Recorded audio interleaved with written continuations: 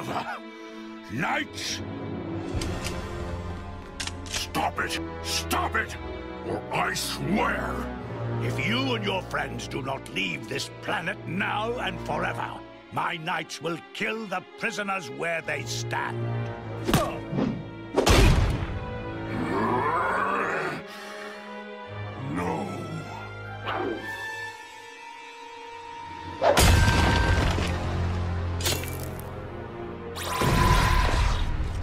Maybe you've forgotten something.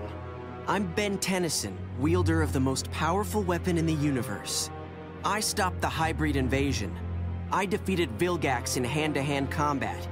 And I've beaten the Forever Knights more times than I can count. Here's what's going to happen. You're going to release these prisoners. You're going to crawl back to wherever you came from. And you're going to stop hunting down aliens.